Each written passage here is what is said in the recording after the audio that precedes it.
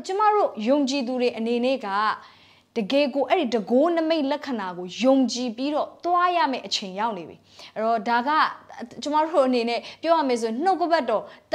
မန်တော်ခင်မာခရဲကအသင်းတော်ရဲ့အစကတကိုးနမိတ်လက္ခဏာနဲ့အစပြုခဲ့တာဖြစ်တယ်အာမင်တဘာဝလွန် အစပြုခြင်းနဲ့အသင်းတော်ဟာဖြစ်တည်လာခဲ့တယ်ယေရှုခရစ်တော်ကိုယ်တိုင်ကလည်းပြောတယ်သူကောင်းငင်တက်ကြွသွားခါနေတဲ့အချိန်မှာတပည့်တွေကိုမှားတယ်တကိုးကိုခံရဖို့ရန်အတွက်ယေရုရှလင်မြို့မှာစောင့်ပါငါရဲ့တကိုးကိုခံပြီးမှ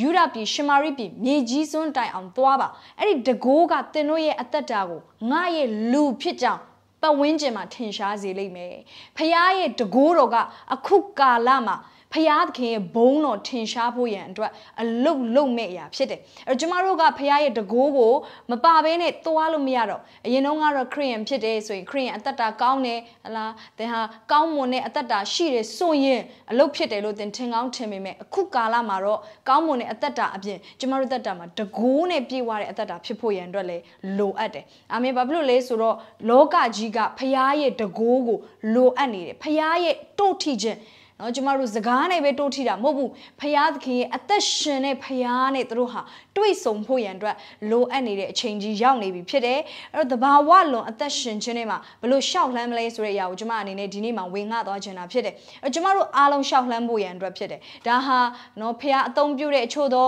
အမှုတော်ဆောင်ဆရာတွေမှ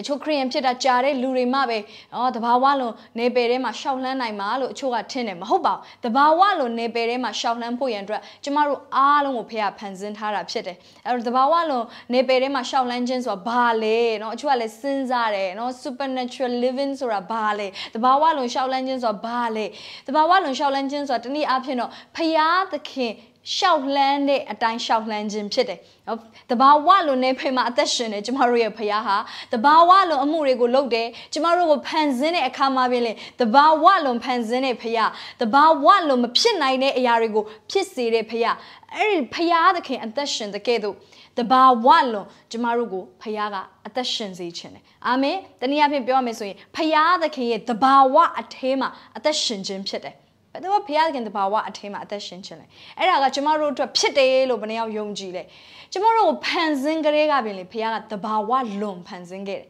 ဟုတ်တယ်တဘာဝအဖြစ်လဲကျမတို့ဟာမြေမှုန့်ကနေပြီးတော့ဖန်ဆင်းခြင်းခံရတယ်လို့တစ်ဖက်ကနေပြီးတော့လေကျမတို့ကိုသူ့ရဲ့အသက်ဇိုဝေးအသက်ဖျားအသက်နဲ့ကျမတို့အထဲမှာမှုတ်သွင်းခရဲကကျမတို့ဟာတဘာဝလွန်လူတွေဖြစ်လာတယ်ကျမတို့ဟာတာမန်တရိษံနေလို့တာမန် တစ်ပင်တွေလိုမျိုးဖရာသခင်ကဖြစ်စေဆိုတဲ့အရာနဲ့ပဲဖန်ဆင်းတာမဟုတ်ဘဲနဲ့ဖရာသခင်ရဲ့အသက်နဲ့ဝိညာဉ်နဲ့ကျမတို့ကိုဖန်ဆင်းခဲ့တယ်။အဲကျမတို့ဟာခန္ဓာစိတ်ဝိညာဉ်ဆိုတဲ့အပိုင်း၃ပိုင်းနဲ့အသက်ရှင်နေတဲ့သူတွေဖြစ်တယ်နော်။ကျမတို့တစ်ပင်တွေကတော့ခန္ဓာရယ်ဟလာခန္ဓာပဲရှိရယ်အာတရိစံတွေကတော့ခန္ဓာနဲ့စိတ်ဆိုတာရှိရယ်။ဒါပေမဲ့လူကပဲဝိညာဉ်ဆိုတဲ့ဖရာအသက်ကိုပိုင်ဆိုင်တယ်။အဲဒီဝိညာဉ်ကဖရာရဲ့တကိုးတော်ချိတ်ဆက်တဲ့နေရာဖရာရဲ့ တန့်ရှင်းသောဝိညာဉ်တော်နဲ့ချိတ်ဆက်တဲ့နေရာဖြစ်တယ်ဖျားသခင်ရဲ့ဘိသိက်ဖျားသခင်ရဲ့တကိုးတော်မျက်မှောက်တော် connect လုပ်တဲ့နေရာဖြစ်တယ်တနည်းအားဖြင့်ပြောမယ်ဆိုဖရာသခင်ဟာကျမတို့ရဲ့ဝိညာဉ်ကနေပြီးတဆင့်လောကကြီးကိုအလုံးလုံးချင်တယ်အဲ့တော့နော်ဆရာကြီးတယောက်ကဒီလိုပြောပါတယ်စာရန်ကရောဖရာသခင်ကရောသူနဲ့အတူတူသူ့ရဲ့တကိုးတော်နဲ့အလုံးလုံးမဲ့လူရဲ့ဝိညာဉ်ကိုရှာနေတယ်တဲ့နော်အဲ့တော့ဖရာသခင်က သူ့ရဲ့ဝိညာဉ်သူ့ရဲ့တကိုးတော်နဲ့အလုံးလုံးမဲ့လူကိုရှာတယ်တစ်ဖက်ကနေလဲစာရန်ကလည်းရှာတယ်သူ့ရဲ့ဝိညာဉ်သူ့ရဲ့တကိုးနဲ့ဒါပေမဲ့ evil spirit ဖြစ်တယ်အဲ့ဒါကတော့သူ့ရဲ့ဝိညာဉ်သူ့ရဲ့တကိုးနဲ့အလုံးလုံးမဲ့လူကိုရှာတယ်အဲ့တော့ကျွန်တော်တို့ကဖရာသခင်ရဲ့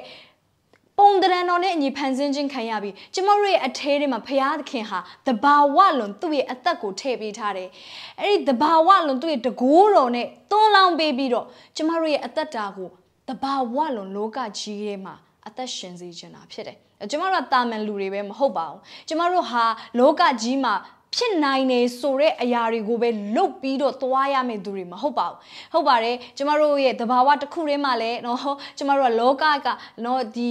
မြေမှုန့်ကနေဖန်ဆင်းထားတာဖြစ်တဲ့အတွက်ကြောင့်လူသဘာဝလည်းကျမတို့မှာရှိပါတယ်ဒါပေမဲ့ကျမတို့ဟာဖရာသဘာဝလည်းကျမတို့ရဲ့အထဲမှာရှိတယ်ဆိုတာကိုကျမတို့သိဖို့လိုတယ်အဲ့တော့ကျမတို့သဘာဝဆန်တဲ့အရာတွေကျမတို့လုံး ကြတယ်နေစဉ်တိုင်းမှာအလုပ်လုပ်တယ်သမင်းစားတယ်ဟုတ်လားငါတဘာဝလုံးဖြစ်သွားလို့သမင်းစားစရာမလိုတော့ဘူးဆိုတာမျိုးတော့မဟုတ်ပါဘူးဒါပေမဲ့လည်းတစ်ဖက်ကနေပြီးတော့ကျမတို့တဘာဝလွန်ဖြစ်တဲ့အတွက်ဖရာသခင်ရဲ့တကိုးတော်အဖြစ်အနာရောဂါငြိမ်းခြင်းတွေနတ်ဆိုးတွေကိုနှင်ထုတ်ခြင်းတွေအံ့ဩပွေအမှုတွေနမိတ်လက္ခဏာတွေကိုပြုခြင်းတွေကျမတို့ဟာပြုဖို့ရန်အတွက်ဖရာသခင်ဖန်ဆင်းထားတာဖြစ်တယ်ပြောပါဦးငါဟာတဘာဝလွန်သူဖြစ်တယ်အာမင်ယေရှုခရစ်တော်မြေကြီးကိုလာတဲ့အခါမှာဒါကိုအကောင်းဆုံး ဥပမာအနေနဲ့ကျမတို့ပြသခဲ့တယ်မြေမြေကြီးမှာယေရှုလာတဲ့ချိန်မှာသူဟာဖျားဇာတိတရားရာခိုင်နှုန်းလူဇာတိတရားရာခိုင်နှုန်းခံယူထားတာဖြစ်တယ်အဲ့ယေရှုကကျမတို့ကဲ့သို့ပင်လေမြေကြီးကိုလာခဲ့တယ်လူသားတယောက်ကဲ့သို့ကျမတို့အားလုံးဟာလူဇာတိရှိကြတယ်ဒါကြောင့်မလို့ကျမတို့အိတ်ဖို့လိုတယ်စားဖို့လိုတယ်နားဖို့လိုတယ်သွားဖို့လိုတယ်မိတ်ဆွေလိုတယ်စသဖြင့်ကျမတို့မှာလူဇာတိရှိတယ်ဒီလိုပဲ တစ်ဖက်မှာလေးပဲကျမတို့မှာဖခင်ရဲ့ဇာတိအထူးသဖြင့်ယေရှုခရစ်တော်မိတ်ဆွေတင့်ရဲ့သက်တာထဲမှာကေတင်ပိုင်ရှင်ဖြစ်ယုံကြည်လက်ခံပြီးတဲ့အခါမှာသင်ဟာဖခင်ဇာတိတင့်ရဲ့အသက်တာထဲမှာရှိလာပြီဟာလေလုယာဖခင်ကတင့်ဘယ်လိုခေါ်လဲဆိုသူ့ရဲ့သားသမီးလို့ခေါ်တယ်သူ့ရဲ့အမွေခံလို့ခေါ်တယ်အာမင်အဲ့တော့ယေရှုခရစ်တော်ကကျမတို့အတွက်အကောင်းဆုံးဥပမာဖြစ်တယ်သူမြေကြီးမှာလာတဲ့အခါမှာဖျားဇာတိတရားကိုင်းလုံး လူဇာတိတရားရာဂိုင်းလုံးရှိတဲ့လူတယောက်ဟာဘာတွေလုပ်နိုင်တယ်လဲဆိုတဲ့အရာပြသခဲ့တယ်ယေရှုမြေကြီးလာတဲ့အခါမှာနော်တာမန်အရာတွေကိုပဲလုပ်ခဲ့တာမဟုတ်ဘူး supernatural အရာတွေတဘာဝလွန်အရာတွေကိုသူလုပ်တယ်ယေရှုပြောတယ်သာရဖျားရဲ့ဝိညာဉ်ငါအပေါ်မှာရှိတဲ့အတွက် သာရဖျားရဲ့ဝိညာဉ်သူ့အပေါ်မှာရှိတဲ့အခါဘာဖြစ်လာလဲလူနာတွေကိုကြမ်းမာစေတယ်မျက်စိမမြင်တဲ့သူတွေကိုပြန်မြင်စေတယ်စင်ရဲသားတွေကိုဝမ်းမြောက်စရာတဲ့ရင်ကိုယူဆောင်လာပေးတယ်နော်လက်ချေသေးတဲ့လူတွေကိုပြန်လဲပြီးတော့လွတ်မြောက်စေတယ်ယေရှုခရစ်တော်ကသေနေတဲ့သူတွေကိုရှင်ပြန်ထမြောက်စေတယ်ချုံနှောင်ခြင်းခံရတဲ့လူတွေနတ်ဆိုးဆွဲတဲ့သူတွေကိုသူ့ရဲ့အမိန့်တစ်ခွန်းနဲ့လွတ်မြောက်သွားစေတယ်ဟာလေလုယာအဲ့ယေရှုကမြေကြီးကိုလာတဲ့ခါမှာတဘာဝလွန်အသက်ရှင်ခဲ့တယ်ယေရှုကမြေကြီးကိုလာတဲ့ခါမှာကျမတို့ကိုဘ လိုမျိုးဖျားသခင်ဟာမြေကြီးမှာကျမတို့ကိုအသက်ရှင်စေခြင်းဟာလေဆိုတာကိုပြသခဲ့တယ်ဖခင်ကကျမတို့ကိုတဘာဝလွန်မြေကြီးမှာအသက်ရှင်စေခြင်းတယ်ယေရှုပြုတဲ့အမှုတွေကဲ့သို့ပြုပြီးယေရှုကဒီလိုပြောတယ်ငါပြုသောအမှုတို့ထက်တာပြီးကြီးသောအမှုတို့ကိုပြုလိုက်မယ်တဲ့ဟာလေလုယာအာမင်အဲ့တော့ကျမတို့ရဲ့အသက်တာဟာဖခင်သခင်ပြုဖခင်ရဲ့ဇာတိနဲ့ဖခင်သခင်တက်ဆွမ်းနိုင်ခြင်းနဲ့မဖြစ်နိုင်တဲ့အရာတွေကိုလုပ်ပြီးတော့သွားရမှာဖြစ်တယ် ပြောပါအောင်ငါမဖြစ်နိုင်တဲ့အရာတွေကိုလုပ်ပြီးတော့သွားရမယ်အာမင်အဲ့ယေရှုခရစ်တော်ကနော်သူမြေကြီးမှာလာတဲ့အခါမှာကျမတို့ကိုသူကောင်းကင်တက်သွားခါနီးမှာလဲမိန့်မာခဲ့တယ်သူရဲ့စေလွှတ်မှုကဘာလဲဆိုလို့ရှင်သင်တို့ဒီလောကီနိုင်ငံအရရက်ရှိသမျှတို့သွား၍ဝေနေရတတ္တဝအပေါင်းတို့အားအေဝံဂေလိတရားကိုဟောကြလော့အာမင်ကျမတို့ကိုသူကအေဝံဂေလိကိုဟောဖို့ရန်အတွက်ကျမတို့ကိုစေလွှတ်တယ်မိတ်ဆွေသိလားအဲ့ဒီအမှုကိုကျမတို့ကမပြုတ်ဘူးဆိုရင် ကျမတို့ရဲ့အထင်မှာအမြဲတမ်းမှာလွတ်လပ်လဟာဖြစ်နေမှာပဲလူဟာဖျားခိုင်းတဲ့အရာကိုလုံမှပဲဝိညာဉ်ကအထဲထဲမှာပြေဝမှုခံစားရတာ satisfy ဖြစ်တာအကယ်လို့ဖျားခိုင်းတဲ့အရာကိုကျမတို့မလုပ်ဘူးကိုပျော်တယ်လို့ပဲသွားမယ်ဆိုရင်ကိုထင်တာတော့လောကရဲ့အပျော်ပါးတွေကကိုယ့်ရဲ့ဝိညာဉ်ကိုပြေဝစေမယ်လို့ထင်တာဒါပေမဲ့ဖျားခိုင်းတဲ့အရာကိုမလုပ်တဲ့၍ကျမတို့ရဲ့ဝိညာဉ်မပြေဝနိုင် ရုပ်ရှင်ကြည့်လည်းမပြေဝနိုင်ရည်စားထားလည်းမပြေဝနိုင်အာအပျော်ရှာလည်းမပြေဝနိုင်အစားအသောက်တရားလည်းကိုယ့်ရဲ့အထဲတွေကိုမပြေဝစေနိုင်တငယ်ချင်းတွေကလည်းကိုယ့်ရဲ့ဟာနေတဲ့ຢာရုပ်ပြေဝစေမှာမဟုတ်ဘူးအချို့လူတွေကခုကာလမှာ COVID-19 ကြောင့်တော်တော်လေးเนาะအထီးကျန်နေအိမ်မှာပဲနေရတဲ့အတွက်တော့၎င်းအဲပြီးတော့လဲเนาะအဖော်တွေနဲ့ အပြင်မှာလည်းမတွေ့ရတဲ့ဒီ physical connection တွေเนาะမထိတွေ့ရတဲ့အတွက်ကြောင့်တော့၎င်းတော်တော်လေးကျမတို့ကခံစားရတယ်။ဟောဟာငါတို့ lonely တအားဖြစ်တယ်ပြင်းလိုက်တာအပြင်းနေဆိုတာဘာမှမလုပ်ချင်လို့ပြင်းတာမျိုးမဟုတ်ဘူး။အိမ်ထဲမှာပဲနေရတာကြာလာတဲ့အခါမှာညင်းငွေ့မှုပေါ့နော်ခံစားရတယ်။ဒါပေမဲ့ကျမမိတ်ဆွေကိုပြောပြချင်တယ်အကယ်လို့သင်ဟာဖခင်ရဲ့အလိုတော်ကိုစောင့်နေတယ်ဆိုရင်သင်ရဲ့ဝိညာဉ်ကရောင်ရဲလိမ့်မယ်။သင်ရဲ့ဝိညာဉ်ကရောင်ရဲမှုကတော့ အခြားအရာတွေအားဖြင့်အစားထိုးလို့မရနိုင်ဘူးဖြစ်တယ်။သင်သင်ဘဝတက်တာတွေမှာဖရာသခင်ခိုင်းတဲ့အရာကိုသင်လုံးမပဲရမှာမဟုတ်ဘဲနဲ့အခြားအရာတွေနဲ့တွားပြီးအစားထိုးရင်ဘာဖြစ်လာမလဲဆိုကျမတို့ကလေဖရာရဲ့အလိုတော်လမ်းနေတဖြည်းဖြည်းလွဲသွားမှာဖြစ်တယ်။အဲ့တော့နော်အားပေးခြင်းနဲ့ပြန်လာပါဖရာသခင်ခေါ်တဲ့နေရာကိုပြန်လာပါအာမင်ဖရာသခင်ရဲ့ mission နဲ့ကိုပြန်လာပါဖရာခိုင်းတဲ့အရာကိုဆက်လုပ်နေဖို့ရန်အတွက်လိုတယ်အဲ့တော့ယေရှုကမှားတဲ့တပည့်တွေကို ဧဝံဂေလိတရားကိုမြေကြီးစွန်းတိုင်အောင်သွားပြီးတော့ဝိနည်းရတ္တဝါအပေါင်းတို့ဟောရမယ်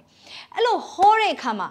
အဲ့နေရာမှာပဲမရက်သွားပါဘူးဘာပြောလဲဆိုတော့အငယ်16 18မှာမာကု16အငယ်16 18မှာယုံကြည်သောသူတို့၌ဖြစ်အပ်သောနမိတ်လက္ခဏာဟုမူကားငါ၏နာမကိုအမိပြု၍နတ်ဆိုးတို့ကိုနှင်ထုတ်ကြလက်တတ်ထူးခြားသောဘာသာစကားမျိုးတို့ကိုဟောပြောကြလက်တတ်မွေတို့ကိုဖမ်းကင်ကြလက်တတ်သေစေတတ်သောအစိတ်တောက်ကိုတောက်စားလျင်ဘေးဥပတ်နှင့်ကင်းလွတ်ကြလက်တတ်မကြမ်းပါသောသူတို့အပေါ်မှာလက်ကိုတင်၍ချမ်းသာပေးကြလက်တတ်ဟုမိန့်တော်မူ၏ အဲ့တော့တနည်းအားဖြင့်ပြောရမယ်ဆိုယေရှုကအေဝံဂေလိဟောပါဒါပေမဲ့အေဝံဂေလိဟောတဲ့အရာရဲ့နောက်မှာအမြဲတမ်းမှာပါလာမယ့်အရာရှိအဲ့ဒါဘာလဲဆိုနမိတ်လက္ခဏာတွေတဘာဝလွန်အရာတွေပြောပါဦးတဘာဝလွန်အရာတွေနတ်ဆိုးတွေကိုနှင်ထုတ်ကြလက်တတ်မကြမ်းမာတဲ့သူတွေပေါ်မှာလက်ကိုတင်ပြီးကြမ်းမာစေကြလက်တတ်သေစေတတ်သောအစိတ်တောက်တို့ပြေးဝတဲ့အစားတောက်တွေတောက်စားလင်လေဘေးဥပတ်နဲ့ကင်းလွတ်ကြလက်တတ်ဒါတွေကဘာလဲနမိတ်လက္ခဏာတဘာဝလွန်အရာတွေ ဘယ်သူတွေတက်တာမှဖြစ်လာမလဲဖယားသခင် mission ကိုလုပ်တဲ့သူတွေတက်တာအဲ့တော့ကျမတို့ရဲ့ဝိညာဉ်ဟာ supernatural အရာတွေကိုလုပ်ဖို့ရန်အတွက်အမြဲတမ်းတောင်းတနေတာဖြစ်တယ်တဘာဝလုံးအမှုတွေကိုလုပ်ဖို့ရန်အတွက်အမြဲတမ်း search လုပ်နေရနော် wifi ရှာတယ်လို့ပဲဟုတ်လားကျမတို့တနေရာတော့လို့ရှိရင် wifi ပါလဲဆိုပြီးရှာတယ်နော်ကျမတို့ရဲ့ wifi connector ဒီလိုပဲကျမတို့ရဲ့ဝိညာဉ်ကလည်းပဲဖယားသခင် အကြီးမြတ်ဆုံးသောဖယားရဲ့တကိုးတော်နဲ့ချိတ်ဆက်ပြီးတော့အကြီးမြတ်ဆုံးသောဖယားရဲ့ mission အလိုတော်ပြည့်စုံလာဖို့ကျမတို့မြေကြီးမှာအသက်ရှင်နေရခြင်းရဲ့အကြောင်းရင်းကျမတို့မြေကြီးမှာအသက်ရှင်တာသူ့ရဲ့ဘုန်းတော်အတွက်သူ့ရဲ့နိုင်ငံတော်တည်ထောင်ဖို့ရန်အတွက်အေဝံဂေလိတရားကိုလူတိုင်းကြားရဖို့ရန်အတွက်ဖြစ်တယ်အာမင်အဲ့ဒီအတွက်ဘုရားသခင်ဘာလို့ ကျမတို့ရဲ့ဝိညာဉ်ကရှာနေတယ်ဒီတဘာဝလိုနေပေသေးမှာရှောက်လှမ်းဖို့ရန်အတွက်အမြဲတမ်းရှာနေတာဖြစ်တယ်အကယ်လို့သင်ဟာအထက်မှာ empty ဖြစ်နေဟာငါရဲ့အထက်မှာနော်လွတ်လပ်လဟာဖြစ်နေတယ်ငါဘာလို့လို့လောက်ရမှန်းမသိငါဘာနဲ့ဖြစ်ဖြစ်မပြည့်နိုင်မှုဖြစ်နေတယ်သင်ခံစားနေရတယ်ဆိုရင်သင်ရဲ့ဝိညာဉ်ကဖရားရဲ့ဝိညာဉ်နဲ့ချိတ်ဆက်ဖို့ရန်အတွက်လိုနေတာဖြစ်တယ်ထိုကြီးမြတ်တဲ့ဖရားရဲ့ဝိညာဉ်နဲ့သင်ချိတ်ဆက်တဲ့အခါမှာကြီးမားတဲ့အမှုတွေကိုပြုတ်လာလိမ့်မယ် ကြီးမားတဲ့အမှုတွေကိုပြုတ်တဲ့အခါမှာသင်ဟာသိလာလိမ့်မယ်ငါဟာမြေကြီးမှာနေတာအကြောင်းမဲ့မဟုတ်ဘူးကြီးမြတ်တဲ့ဖရာသခင်ရဲ့သားသမီးကြီးမြတ်တဲ့ဖရာသခင်ရဲ့အကြံစီတော်နဲ့မြေကြီးမှာငါ့ကိုဖရာကထားထားတာဖြစ်တယ်ဟာလေလုယာအာမင်အဲ့တော့တော့ကျမတို့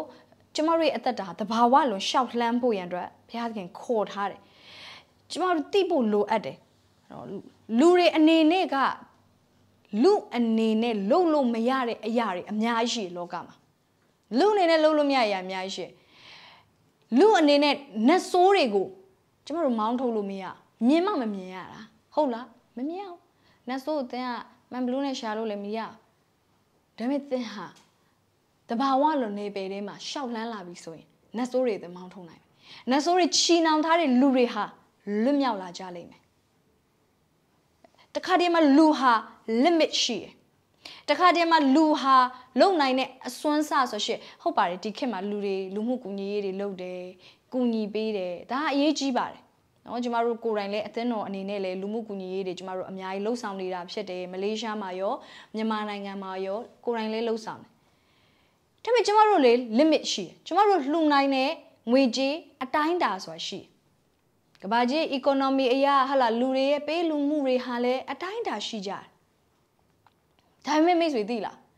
ဖယားခင်တဘာဝလိုနေပေတဲ့မှာတော့အတိုင်းတာဆိုမရှိဖယားခင် limitless အလုပ်လုပ်နိုင်ဖယားခင်က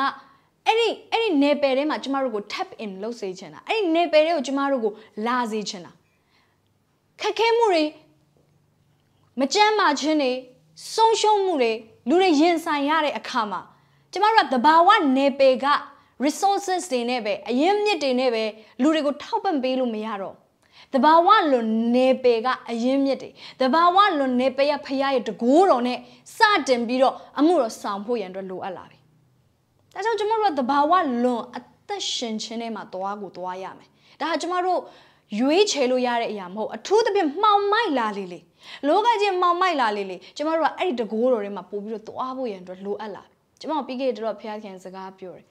ဝိညာဉ်စုကျေးဇူးတွေက သုံးချင်မှသုံးမသုံးချင်မသုံးမဲနဲ့ထားလို့ရတဲ့အရာမဟုတ်တော့ဒီနောက်ဆုံးသောကာလမှာအသင်းတော်ကတကယ်ဖျားဘုံထင်ရှားခြင်းနဲ့ဆိုရင်တဘာဝအရာတွေပဲလုပ်နေလို့မရတော့တဘာဝအရာတွေမှာပဲကျမတို့ကျင်လေကျစားနေလို့မရတော့ကျမတို့ရဲ့ service တွေဟာတဘာဝဆန်တဲ့အရာတွေပဲဟောပြောမှုတွေနော်လူတွေလူလူတယောက်ရဲ့အသက်တာတိဆောက်စရာကောင်းတဲ့ဟလာနှုတ်ကပတ်တော်ဟောပြောယုံလောင်းနေမရတော့နမိတ်လက္ခဏာနဲ့သွားမှရမယ် ထူးခြားတဲ့ဖရာသခင်ရဲ့နမိတ်လက္ခဏာလှုပ်ဖို့ရန်အတွက်လူတွေကိုအားပေးမှရမယ်။စုကျေးဇူးတွေနဲ့အမှုဆောင်မှရတော့မယ်။ဘာကြောင့်မလို့လဲဆိုတဘာဝလွန်နေပေရဲ့အရင်မြစ်တွေကိုကျမတို့ကအထူးလိုအပ်တဲ့ကာလရောက်လာပြီ။ကိုယ့်ကိုတိဆောက်ဖို့ရန်အတွက်အခုဆိုလူတွေတိဆောက်စရာမရဘူး။ဘယ်ကိုပဲကြည့်ကြည့်မျှော်လင့်စရာမရှိဘူး။ အစိုးရကိုကြည့်မလားစီးပွားရေးကိုကြည့်မလားအသင်းတော်အရေးကိုကြည့်မလားအသင်းတော်တွေလည်းပိတ်ထားတယ်စီးပွားရေးတွေလည်းကြားတယ်နိုင်ငံရေးကလည်းအခြေအနေမကောင်းစသဖြင့်ဘေးနားမှာမျောလင်းချက်ကိုထားပြီးတော့တိဆောက်ရမှန်းမသိဒါပေမဲ့အခြားသောဘာသာစကားနဲ့ဆူတောင်းခြင်းသည်တဘာဝလုံးကိုကိုကိုတိဆောက်နေခြင်းဖြစ်တယ်အဲ့ဒါရာမရှာခရဘာယန်ဒေရဒေရီတင်ဆူတောင်းခြင်းကတင်ဝိညာဉ်ကတဘာဝလုံးနဲ့ပဲနဲ့ချိတ်ဆက်ပြီးတန်ရှင်သောဝိညာဉ်တော်အားဖြင့်အထေးထဲမှာတိဆောက်ခြင်းခံရတယ် တမဲလို့တိဆောက်ခြင်းဘယ်သူတွေပဲခံရမလဲဝိညာဉ်စုကျေးဇူးတွေနဲ့သွားလာတဲ့သူတွေကပဲခံစားရမှာဖြစ်တယ်အဲ့ကျမတို့ကပို့ပြီးဒီကာလပို့ပြီးတော့ကျမတို့ဟာတဘာဝလို့နေပယ်ထဲမှာရှောက်လန်းဖို့ရန်အတွက်အရေးကြီးတယ်ဆိုတာနားလည်ရမယ့်အချိန်ရောက်နေပြီဖြစ်တယ်အာမင်ကျမတို့ prophet ပြုခြင်းစုကျေးဇူးတွေသင်လူတယောက် prophet ပြုတဲ့အခါမှာသူတို့ရဲ့အနာဂတ်ကိုသင်ဟာတိဆောက်ပေးနေခြင်းဖြစ်တယ်လူတွေဟာအနာဂတ်မှာဘာလုပ်ရမယ်မသိတော့လမ်းပြောင်းနေပြီ prophet ပြုပါလူတွေနဲ့တွေ့တဲ့အခါဖခင်ရဲ့အသက်ရှင်ခြင်းဖခင်သခင်တို့ကိုအနာဂတ်မှာအလုပ်လုပ်မဲ့အရာတွေ prophet ပြုပါဖခင်သခင်တကိုးနဲ့နမိတ်လက္ခဏာနဲ့ကျမ်းမာခြင်းတွေအခုဆိုလေလုပ်နေတယ်ဂျေဇုတော်ကြောင့်ကျမတို့ပြီးခဲ့တဲ့တပတ်ကနေစပြီးတော့ကျမတို့ကျမ်းစာကျောင်းမှာ the school of holy spirit မှာအနာရောဂါငြိမ်းခြင်းတွေ prophet ပြုခြင်းတွေနဲ့ကျောင်းသားတွေကိုလက်တွေ့အမှုတော်ဆောင်ခိုင်းတယ်ကျမတို့ကျောင်းက စာပဲသင်ပေးတာမဟုတ်လက်တွေ့သင်ပေးတဲ့အကြောင်းဖြစ်တယ်တယောက်နဲ့တယောက်တော့အပြင်မှာမတွေ့ရပါပဲလေသူတို့လည်း internet ကနေပြီးတော့လက်တွေ့အမှုတော့ဆောင်ကြတယ် Zoom call တွေ Messenger call တွေနဲ့เนาะသူတို့အမှုဆောင်ကြတယ်အဲ့တော့ဘာမြင်ရလဲသိလားအချို့ covid လူနာတွေကြောင်များဆိုကျမ်းမာကြတယ်အနံ့မရတဲ့သူတွေပြန်ပြီးအနံ့ရလာတယ်ဟောအသက်ရှူချက်တဲ့လူတွေပြန်ပြီးတော့အသက်ရှူလို့ရလာတယ် covid positive တွေပြန်ပြီးတော့စစ်တဲ့အခါမှာ negative ဖြစ်သွားတဲ့သတင်းတွေကြားရတယ်တကယ်တော့ဒီယောဂါကအခုဆိုကုဖို့အတွက်အရန်ကိုခတ်တယ်နော်ဒီယောဂါအခုအချိန်မှဆိုရင်ကုဖို့အတွက်ဘေးနားသွားလို့သွားရမယ်မမသိဘူးအောက်ဆီဂျင်ဘူးတွေလည်းအရန်ကိုရှားတဲ့အချိန်လုတ်ဖို့လူအနေနဲ့မျောလင့်စရာကုန်တဲ့အချိန်မှာစုကျေးဇူးနဲ့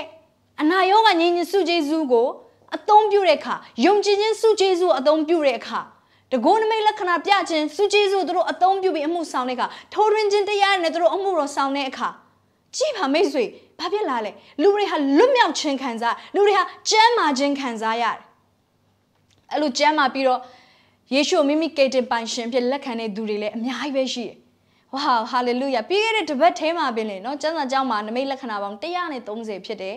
ကျောင်းသားတွေကပဲပြန်အမှုတော်ဆောင်တာเนาะကျမတို့တို့အမှုတော်ဆောင်တာမဟုတ်တို့ကလူတွေကိုပြန်ပြီးအမှုဆောင်တာ130ရှိတယ်အဲ့ဒီပြင်ကျမတို့အသင်းတော်ရဲ့အမှုတော်ဆောင်တွေ cell leader တွေလူနာတွေကိုဆုတောင်းပေးတာမပါသေးဘူးဖြစ်တယ်ကျမတို့ပြောတယ်ကျမရဲ့ leader တွေကတနေ့ကိုအနည်းဆုံးလူနာ4-5ယောက်လောက်ကဖုန်းခေါ်ပြီးဆူတောင်းခံတယ်အနည်းဆုံးเนาะကျမတို့ cell leader 120ရှိရမြင်အောင်ကြည့်ပါလူပေါင်းဘလောက်တောင်မှနေ့တိုင်းမှာ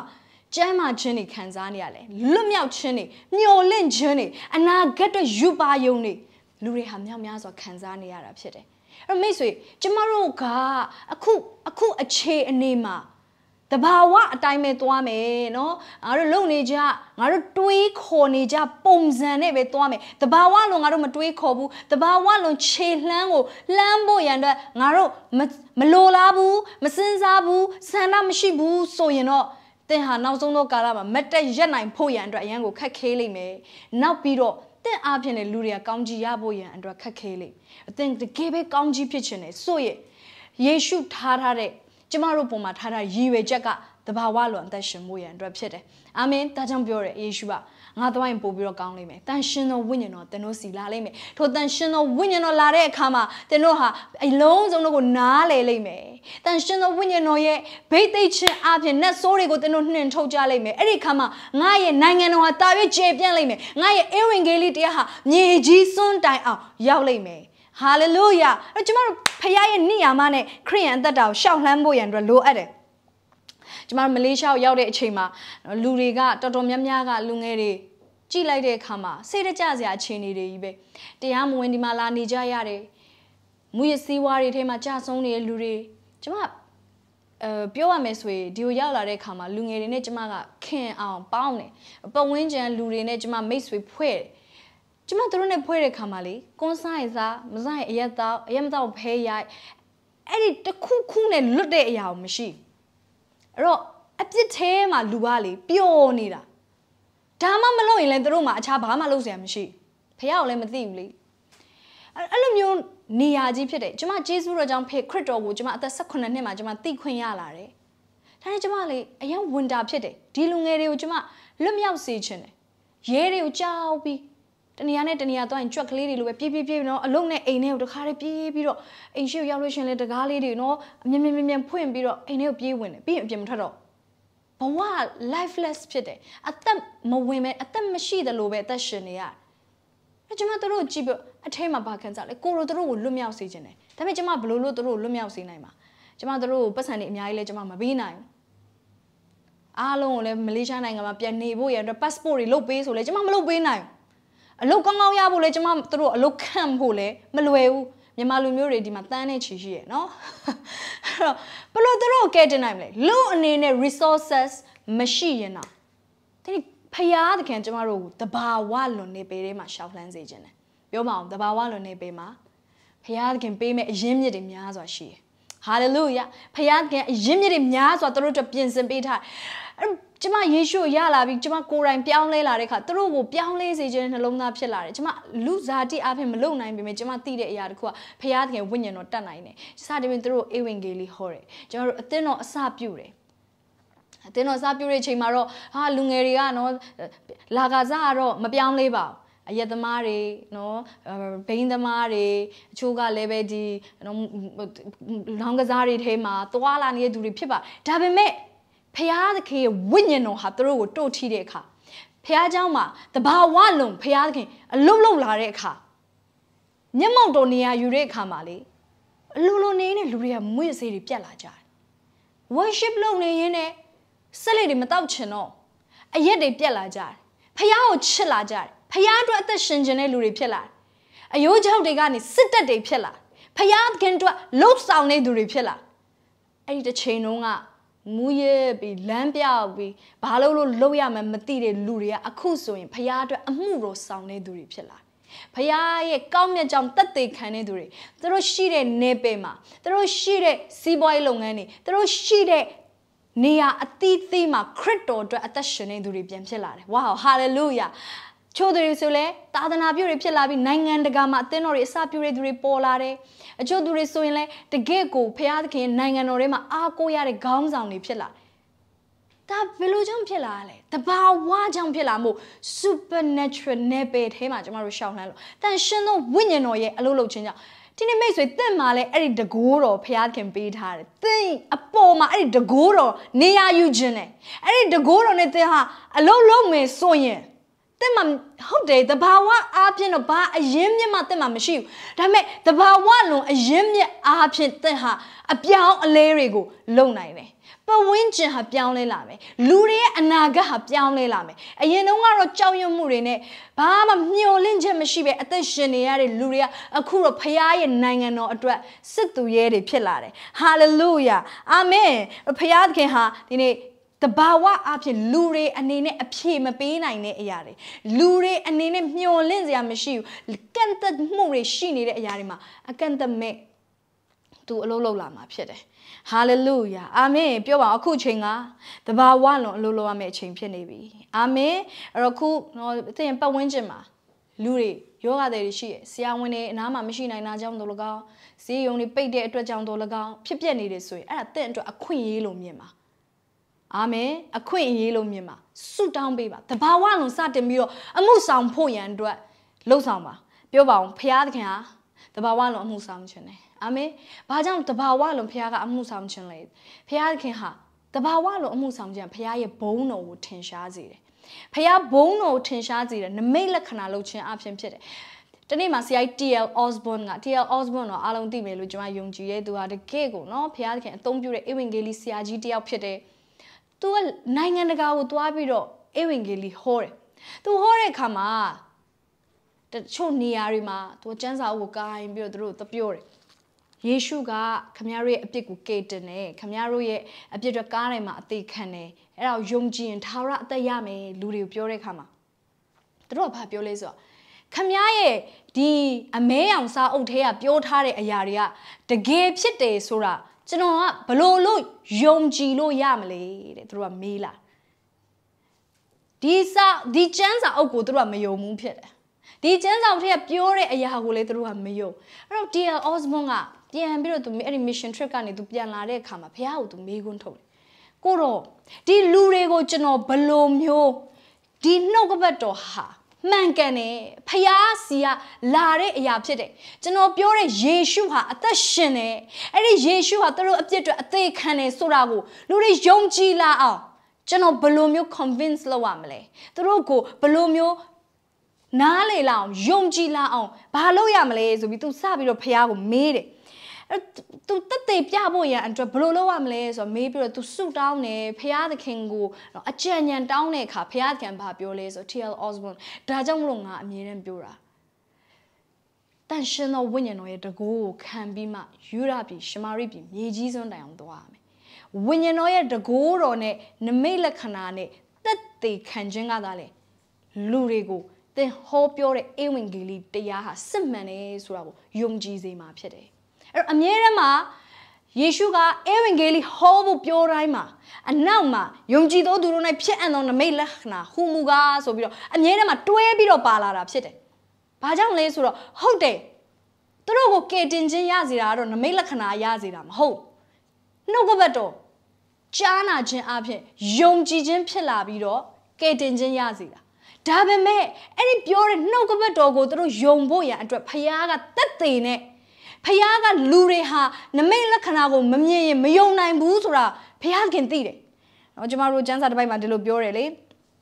နော်အာရှင်ယောဟန်ခရစ်ဝင်ခန်းကြီး၄အငယ်58မှာယေရှုကလည်းသင်တို့ဒီနမိတ်လက္ခဏာနဲ့အံ့ဘွယ်သောအမှုတို့ကိုမမြင်ရလင်ယုံကြည်ခြင်းမရှိကြဟုမိန့်တော်မူသောနော်အဲ့ယေရှုကသိတယ် သင်တို့ကနမိတ်လက္ခဏာမမြင်ရင်မယုံဘူးဒါကြောင့်မို့လို့ငါတန်ရှင်းသောဝိညာဉ်တော်ကိုပေးတယ်တန်ရှင်းသောဝိညာဉ်တော်အပြင်နမိတ်လက္ခဏာကိုပြုပါတဘာဝတော်အမှုဆောင်ပါအဲ့လိုအမှုဆောင်တဲ့အခါမှာဖရာသခင်ဒီဘုံထင်ရှားလိမ့်မယ်ဖရာသခင်ရဲ့အသေးခံပေးခြင်းယေရှုခရစ်တော်ရဲ့အသေးခံပေးခြင်းစစ်မှန်တယ်သင်ပြောတဲ့ယေရှုရဲ့နာမကသူတို့ရဲ့အပြစ်တွေကိုကယ်နှုတ်နိုင်တဲ့နာမဖြစ်တယ်ဆိုတာသိဖို့ရန်အတွက်ပြောပါဖရာကသူ့ကိုအဖြေပေးတယ်အဲ့တော့ကျမတို့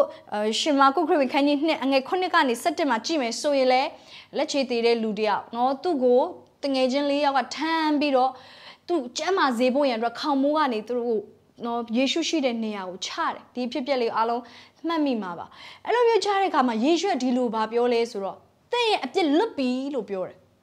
အဲ့လိုပြောလိုက်တဲ့အခါမှာလူတွေကအယမ်းစိတ်ဆိုးတယ် ဘာပြောလဲဆိုရင်ဤသူသည်ဖျားကိုလွန်ကျူး၍အဘယ်ကြောင့်ဤသို့ပြောရသနည်း။ဖျားသခင်မှတပါအဘယ်သူသည်အပြစ်ကိုလွတ်နိုင်သနည်းဟုစိတ်ထဲမှာထင်မှတ်ကြ၏။သူတို့စိတ်ထဲမှာပြောနေတာ။ဘယ်သူကဖျားကပဲအပြစ်ကိုလွတ်လို့ရမှာ။ဘသူကအပြစ်ကိုလွတ်လို့ရလို့လေ तू ကဖျားမိုးလို့လားဆိုပြီးတော့လူတွေကအထဲထဲမှာအပြစ်တင်ကြတယ်ယေရှုဒါပေမဲ့ယေရှုကအားလုံးကိုတည်တယ်သူဖြစ်တဲ့အတွက်ယေရှုကဘာပြန်ပြောလဲဆိုသူတို့စိတ်ထဲမှာထိုသောထင်မှတ်ခြင်းရှိတွေကိုယေရှုသည်မိမိဉာဏ်အားဖြင့်ချက်ချင်းသိတော်မူလျင်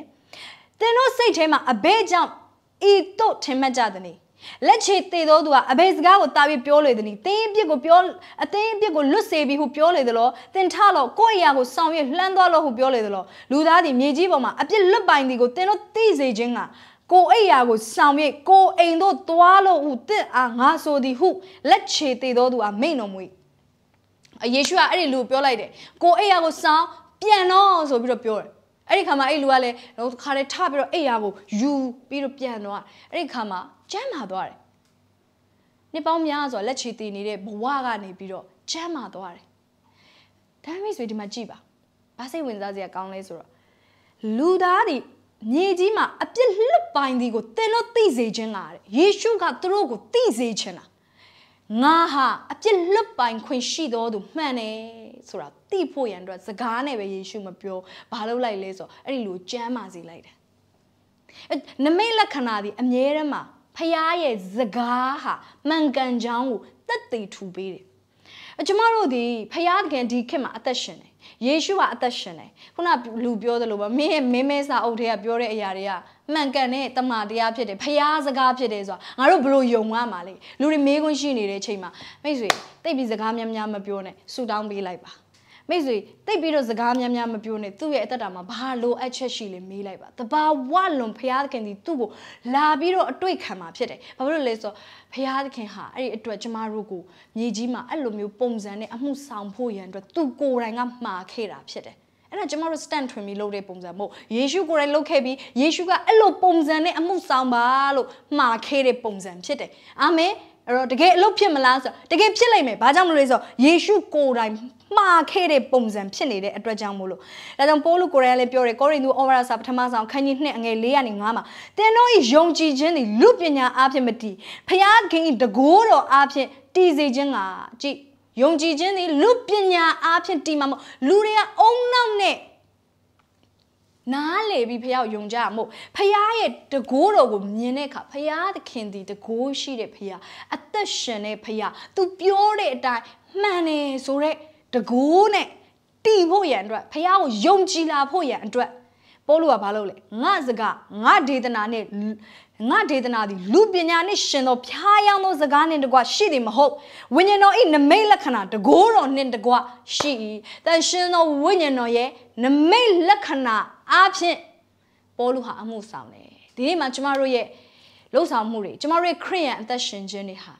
တကိုးနမိတ်လက္ခဏာတွေတွားရမယ့်အချိန်ရောက်နေဖြစ်ပြောပါအောင် supernatural living เนาะတဘာဝလွန်အသက်ရှင်ရမယ့်အချိန်ဖြစ်တယ်အာမင်အဲ့တော့ကျမတို့အကယ်လို့သင်နော်ဒီဒီအသက်တာတွေမှာသင်မသွားလာသေးဘူးဆိုမိတ်ဆွေအဲ့ဒါဖះရည်ရွယ်ထားတဲ့အသက်တာဖြစ်တဲ့အတွက်ပြန်လာပါအဲ့ဒါကျမတို့အားလုံးအတွက်ဖြစ်တယ်ကျမတို့အားလုံးကို ဖန်ဆင်းခရေကပင်လေဖះအဲ့ဒီရည်ရွယ်ချက်နဲ့ဖန်ဆင်းနေကျမတို့မြေကြီးမှာထားတဲ့အခါမှာအဲ့ဒီခေါ်ခြင်းနဲ့အဲ့ဒီ mission နဲ့သွားဖို့ရန်အတွက်ဖះခင်ခေါ်ခဲ့တယ်အဲ့ဒါကိုကျမတို့မသွားလာသေးဘူးဆိုရင်ကျမတို့ဟာတစုံတစ်ခုကိုလက်လွတ်နေတာဖြစ်တယ်အာမင်အသင်ဖះသားသမီးဖြစ်တယ်ဆိုရင်ကျမတို့ဟာနမိတ်လက္ခဏာကိုလိုလားလိမ့်မယ်ကျမတို့ဟာဖះသားသမီးဖြစ်တယ်ဆိုနမိတ်လက္ခဏာခံစားရတဲ့သူတွေဖြစ်လိမ့်မယ်ဖះသားသမီးဖြစ်တယ်ဆိုနမိတ်လက္ခဏာလုတ်တဲ့သူတွေဖြစ်လိမ့်မယ်ဘာကြောင့်လဲဆိုယေရှုကဒီလိုပြောတယ်တရက်မှာနော်ခါနန်အမျိုးသမီးကိုရှမသက်ခရစ်ဝင်ခန်းကြီး15အငယ်26မှာသားဤစာကိုယူ၍ခွေးအားမပေးအပ်ချေတဲ့နော်ကျမ်းမာခြင်းကိုဒီအမျိုးသမီးကလာတောင်းတဲ့အခါမှာယေရှုကပြောလဲကျမ်းမာခြင်းဆိုတာသားတွေရဲ့အစာဖြစ်တယ်အကယ်လို့သင်ဟာဒီနေ့ယုံကြည်သူတယောက်ဖြစ်တယ်ဒါပေမဲ့သင်မကျမ်းမာမာဖြစ်နေတယ်ဆိုရင်ကျမ်းမာခြင်းဟာသားတွေရဲ့အစာဖြစ်တယ်ပြောပါအောင်ကျမ်းမာခြင်းငါအတွက်ဖြစ်တယ် ယေရှုခံခဲ့ပြီးသောဒဏ်ကြောတော်များအားဖြင့်သင်သည်ကျမ်းမာလျက်ရှိပြီလို့ဖခင်ကပြောတယ်အဲ့ဒါကိုယုံကြည်ပါအဲ့ဒီတကိုးတော့သင်ပေါ်မှာအလုပ်လုပ်မယ်ဆိုတာကိုယုံကြည်ပါတဘာဝလွန်နေပေထဲမှာရှောက်လှမ်းပါတဘာဝအရာတွေကိုယုံကြည်ပြီးတော့မသွားနဲ့အဲ့ဒါတွေလွှမ်းမိုးမှုကိုမခံယူနဲ့အချို့လူတွေတဘာဝအတွေးခေါ်တွေလွှမ်းမိုးမှုခံယူတယ်အော်သူများလေးဖြစ်တာပဲငါလေးဖြစ်မှာပေါ့ဆိုတဲ့အရာမျိုးမဟုတ်ဘူးဖခင်တကယ်သင်ကိုကျမ်းမာခြင်းပေးတယ်ဟာလေလုယာကျမ်းမာခြင်းဟာသားတွေရဲ့ အစာဖြစ်တယ်အဲ့ဒီနေပယ်ထဲမှာကျမတို့ကရှောက်လှမ်းရမယ်ကျမတို့အတွက်ကျမ်းမာခြင်းဖြစ်ကိုဖြစ်နေတာကျမတို့ကပြန်လည်ပြီးတော့လူနာတွေကိုလက်တင်တဲ့အခါမှာကျမ်းမာစေမှာအာမင်ကျမတို့ဒီနော်လွတ်မြောက်ခြင်းထဲမှာသွားကိုသွားရမယ်ကျမတို့ဒီလူတွေကိုလွတ်ကိုလွတ်မြောက်စေရမယ်သင်ကိုယ်တိုင်ကိုကနမိတ်လက္ခဏာခံစားပြီးသင်ကပြန်လဲနမိတ်လက္ခဏာလုတ်တဲ့သူဖြစ်လာတယ် ဒါဖရားရဲ့ကျမတို့ဘုံမှာထားတဲ့အလို့ဒါဟာတဘာဝလွန်ရှောက်လန်းခြင်းတွေမှာဖရားခင်သွားစီခြင်းတဲ့ပုံစံဖြစ်တယ်အာမင်အဲ့တော့ကျမတို့ဘယ်လိုမျိုးတဘာဝလွန်အသက်ရှင်မလဲ how to live supernaturally ဘယ်လိုမျိုးတဘာဝလွန်ကျမတို့အသက်ရှင်မလဲ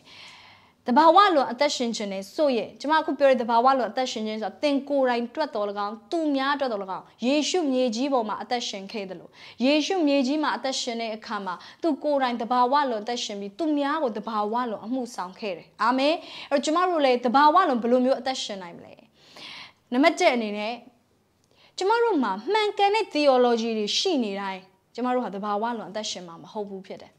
နော်အဲ့ဒါကိုနားလေစေခြင်းတယ် right theology ဟာအရေးကြီးပါတယ်ဒီနှုတ်ကပတ်တော်ကိုမှန်ကန်စွာအနက်ပြန်တက်ဖို့တိတ်ကိုအရေးကြီးပါတယ်မှန်ကန်တဲ့ theology ရှိဖို့လိုတယ်။မာရွေးတဲ့ theology ရှိတယ်ဆိုရင်တော့ဘလို့မှရလက်ကလည်းမမှန်နိုင်ဘူးဖြစ်တယ်။ဒါပေမဲ့မိတ်ဆွေသိလားအချို့လူတွေကတိတ်ကိုမှန်ကန်တဲ့ဩဝါဒတွေသိတယ်။ ကျမ်းမာခြင်းဟာဖခင်သားသမီးတွေအတွက်ဆိုသိတယ်။ကျမ်းမာခြင်းကိုသင်ဟာလူများတွေပေါ်မှာလက်တင်ပြီးဆူတောင်းပေးကျမ်းမာစေနိုင်တယ်ဆိုသိတယ်။နမိတ်လက္ခဏာဟာဖခင်သားသမီးတွေလုံနိုင်တယ်ဆိုသိတယ်သိတယ်။ theology မှန်မှန်ကန်ကန်ရှိတယ်။ doctrinally မှန်တယ်။ဩဝါဒတွေမှန်ကန်စွာကြားတယ်။ဟောပြောတဲ့ဆရာတွေရှိတယ်။ internet မှာလည်းအစုံလင်နားထောင်ရတယ်။ဒါပေမဲ့သင်ဟာ theology မှန်တိုင်း practical မှာမှန်တာမဟုတ်ဘူးဖြစ်တယ်။အချို့လူတွေက မှန်ကန်တဲ့ theology ရှိမယ်မှန်ကန်တဲ့ practice မရှိသူတို့ရဲ့လှုပ်ဆောင်မှုလေ့ကျင့်မှုကမမှန်ကန်မှုဖြစ်တယ်သူတို့သွားတဲ့အသက်တာကသေနေတဲ့ theology ဖြစ်နေ theology ကတော့မှန်တယ်ဒါပေမဲ့သေနေတယ်သူတို့အသက်တာထဲမှာအလုံးမလုံးဘူးသူတို့ကြားထားတဲ့နှုတ်ကပတ်တော်ကအသက်တာထဲမှာလှုပ်ရှားနေတဲ့နှုတ်ကပတ်တော်မဟုတ် practical ဖြစ်နေတဲ့အရာမဟုတ်အဲ့တော့ပြောပြချင်တယ်သင်မှန်ကန်တဲ့ theology ရှိပေမဲ့လက်တွေ့မရှိရင်သင် theology အသင်တော့ဘာမှဖြစ်လာမှာမဟုတ် နောက်ဆုံးမှာ result ကဘာမှမြင်ရမှာမဟုတ်ဥပမာဆိုပါစို့တဲ့ကလူနာတွေကျန်းမာစေမယ်လို့သင်သိတယ်ဒါပေမဲ့သင်စုမတောင်းပေးဘူးဆိုလူတွေကျန်းမာလားမလားအလိုလိုနေရင်နဲ့ကျန်းမာလားမလားဖကျန်းမာလားနိုင်မို့မိတ်ဆွေအဲ့ကျမတို့ကတကယ် supernatural living နော်တကယ်ကိုတဘာဝလွန်အသက်ရှင်တဲ့အသက်တာထဲမှာသွားခြင်းနေဆိုရင်ကိုယ်တိုင်ကလက်တွေ့တဘာဝလွန်လှုပ်ဆောင်နေဖို့လိုတယ်ပြောပါဦးတဘာဝလွန် လှုပ်ဆောင်နေဖို့လိုတယ်နားလေဖို့ပဲမကတော့လှုပ်ဆောင်နေရမယ်အာမင်အဲ့တော့ကျမတို့เนาะမှန်ကန်တဲ့လှုပ်ဆောင်မှုတွေကိုအသက်တာမှာတိဆောက်ဖို့လိုတယ် intentionally ရည်ရွယ်ချက်ရှိရှိနဲ့အချို့တွေအရန်သဘောကောင်းတယ်ဟာလက်ခံတယ်နာယောကငင်းချင်းလားလက်ခံတယ်ဆရာဇော်လင်းအောင်တို့ဆရာဂျောရှွာတို့လောက်ကြဟာရန်ကောင်းတယ်ရန်ခွန်အားရတယ်ဒါပေမဲ့သူတို့ကိုယ်တိုင်ကြတော့မလုပ် ဘာကြောင့်လဲ right theology ရှိရဒါပေမဲ့ right practice မရှိမှန်ကန်တဲ့လက်တွေ့လှုပ်ဆောင်မှုမရှိဒီနေ့မှာကျွန်မမိတ်ဆွေကိုခေါ်ချင်တယ်မှန်ကန်တဲ့လက်တွေ့လှုပ်ဆောင်မှုတွေကိုပြန်လာပါအာမင်သင်ကြားတဲ့အရာတွေကကြားတဲ့နေရာမှာပဲမပြီးသွားနဲ့နားလေတဲ့နေရာမှာပဲမပြီးသွားနဲ့စတင်ခြေလန်းလှမ်းရမယ်ကလေးတယောက်ကမွေးကလေးကနေတော့လမ်းမလျှောက်တတ်ပါလူတယောက်လမ်းလျှောက်တတ်ဖို့ဆိုတာကဘာလို့ရလဲဆိုတော့ကိုယ်တိုင်ခြေလှမ်းနေလှမ်းရတာဖြစ်တယ် အမေနဲ့အဖေကသင်ပေးတယ်ကလေးကိုသားရီခြေထောက်ကလေဘဲညဘဲညအဲ့လိုရှောက်ရတာ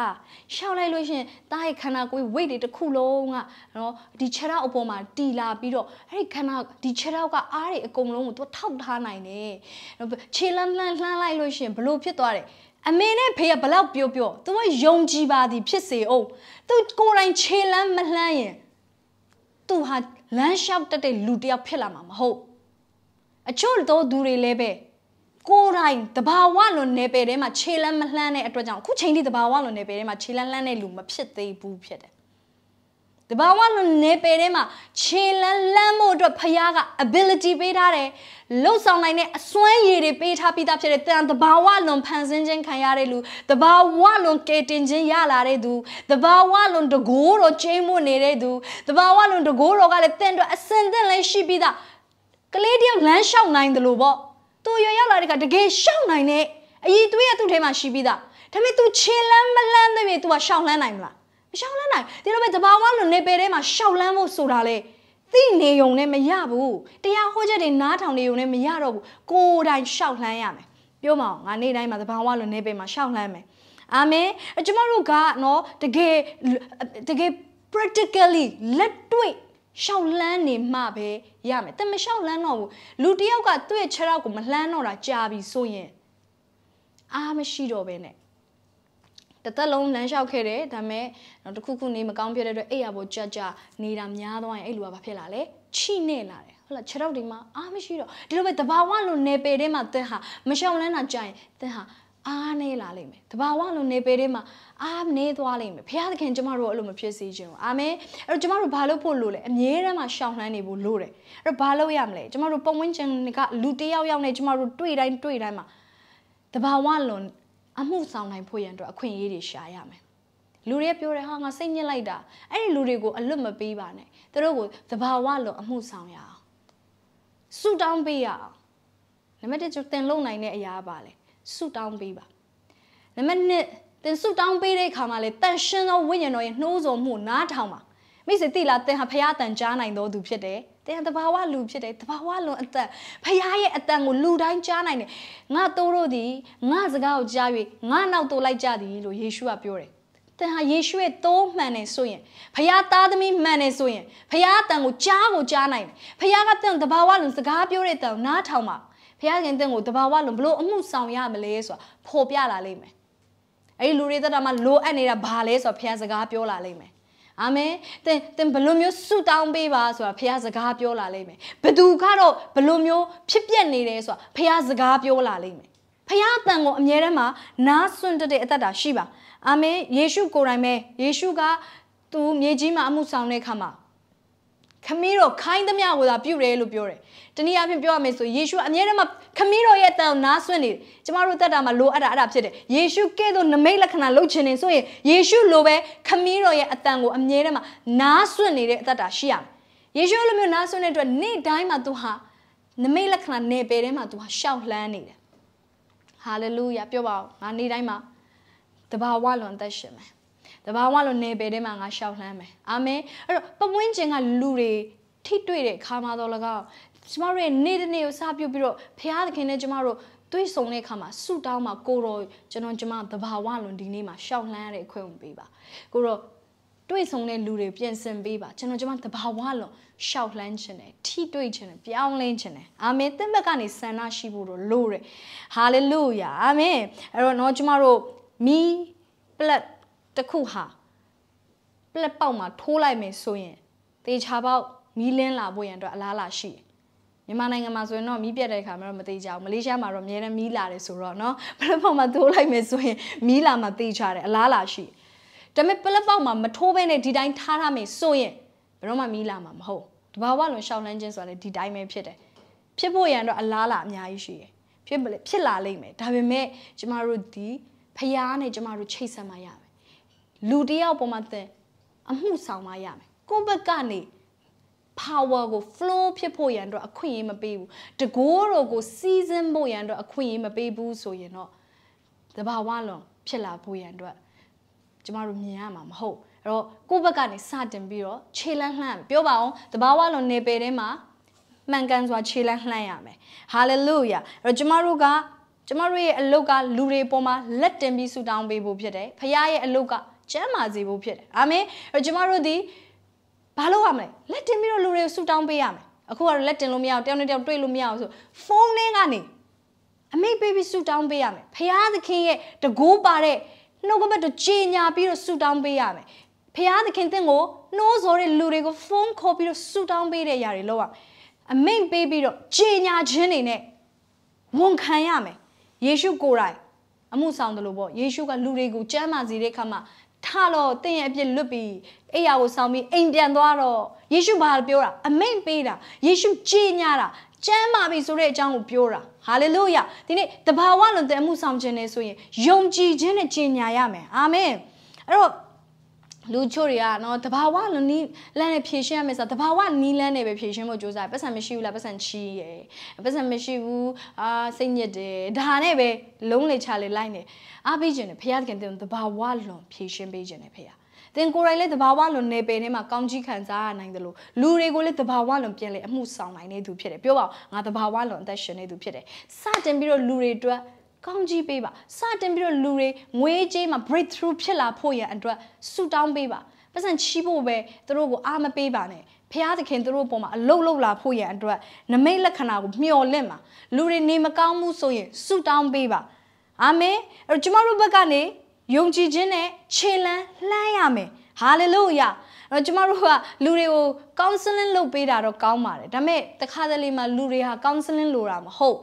တဘာဝလွန်နေပယ်ထဲမှာနတ်ဆိုးတွေကိုမြင်ပြီးမောင်းထုတ်ပေးမဲ့လူလိုတာဖြစ်တယ်။တခါလေမှာကျမတို့ကမြစ်တာနဲ့သူတို့ကိုနှစ်သိမ့်ပေးဖို့လိုအပ်တယ်လို့တခါတလေမှာသူတို့ကိုအဲ့ဒီပြဿနာတွေထဲမှာချီနှောင်ထားတဲ့နတ်ဆိုးတွေလူရက်ကနေလွတ်မြောက်ဖို့ရန်အတွက်အမိန့်ပေးဖို့ရန်အတွက်လိုနေတာဖြစ်တယ်။ကျမတို့ကတဘာဝလွန်နေပယ်မေ့ထားပြီးတော့တဘာဝအတိုင်းနဲ့အမှုဆောင်နေမယ်ဆိုရင်ဒါကြောင့်တခါတည်းမှာကျမတို့မထိရောက်တာကိုမြင်နေရတယ်။အသိထားပါသင်ဟာတဘာဝလည်းလူဖြစ်တယ်လို့ တဘာဝလွန်လူလည်းဖြစ်တယ်ယေရှုခရစ်တော်ကဲ့သို့တဘာဝလွန်အမှုဆောင်ဖို့ရန်အတွက်လိုတယ်အာမင်အမက်နဲ့အနေနဲ့သင်ဟာတဘာဝလွန်အသက်ရှင်ခြင်းနဲ့ဆိုယုံကြည်ခြင်းနဲ့ရှောက်လှမ်းရမယ်အာမင်တနည်းအားဖြင့်ပြောရမယ်ဆိုရင် supernatural living တင်တကယ်တဘာဝလွန်အသက်ရှင်နေသူဖြစ်ချင်တယ်ဆိုရင်သင်ဘဝတက်တာတွေမှာမဖြစ်နိုင်ဘူးမရနိုင်ဘူးဆိုတဲ့အရာတွေကိုမပြောပါနဲ့အရာအားလုံးဟာယုံကြည်ခြင်းအဖြစ်ဖရာသခင်ဟာ တက်နိုင်တယ်လို့ကျမတို့ဟာယုံကြည်ဖို့ရန်အတွက်လို့တယ်အာမင်အဲ့တော့ဒီခါတည်းမှာကျမတို့ကနှာအစီချောင်းဆိုးယောဂလောက်ဆိုရင်တော့ယုံကြည်ရဲတယ်ဒါပေမဲ့ကြီးမားတဲ့နော် cancer တို့လို HIV တို့လိုအခုဆိုရင် covid တို့လိုယောဂတွေကြတော့ကျမတို့မယုံတော့မဖြစ်နိုင်ဘူးထင်တယ်သူများတွေတောင်ဖြစ်နေကြတာဟလာကျမတို့ကတဘာဝနီးလန်းနဲ့ပြန်စဉ်းစားပြန်ရောဒါတွေကတဘာဝအရာတော့မှမပြောက်နိုင်ဘူးမိတ်ဆွေကျမပြောမယ်ကျမဘွားသက်တာထဲမှာ HIV တွေကျန်းမာတာကျမမြင်ဘူးတယ်နော်ကျမကျမရဲ့အသက်တာထဲမှာနော်ကျမအမှုရဆောင်တဲ့အခါ cancer ယောဂါတွေပျောက်ကင်းသွားတာကျမမြင်ဘူးတယ်ဖះသခင်နမိတ်လက္ခဏာတွေအမျိုးမျိုးလောက်တာကျမမြင်ဘူးတယ်အဲ့မဖြစ်နိုင်ဘူးဆိုတဲ့အရာကမိတ်ဆွေကျမတို့ရဲ့အတွေးခေါ်ထဲမှာပဲရှိတယ်သင်ဖြစ်နိုင်တယ်လို့ယုံနေဆိုရင်ဖြစ်ကိုဖြစ်လာလိမ့်မယ်ကျမတို့တကယ်သဘာဝလိုနေပေမှာအသက်ရှင်ခြင်းနေဆိုတော့ယုံကြည်ခြင်းကအရေးကြီးသွားတယ်ယုံကြည်ခြင်းမပါဘူးဆိုရင်တော့ ဘာမှလုပ်နိုင်မှာမဟုတ်ယုံကြည်ခြင်းပါတယ်ဆိုရင်ဤတောင်နေရာကနေရွှေ့ပင်လယ်၌ကျလို့သင်ပြောတယ်ဆိုရင်တော့ပြောတဲ့အတိုင်းဖခင်ကဖြစ်စေမယ်လို့ပြောထားတယ်အာမင်ဘာလို့လဲတဘာဝလွန်အသက်ရှင်မှုလို့တာယုံကြည်ခြင်းလို့တယ်ပြောပါအောင်ဘာလို့လဲယုံကြည်ခြင်းလို့တယ်စနစ်နှစ်ပတ်လုံး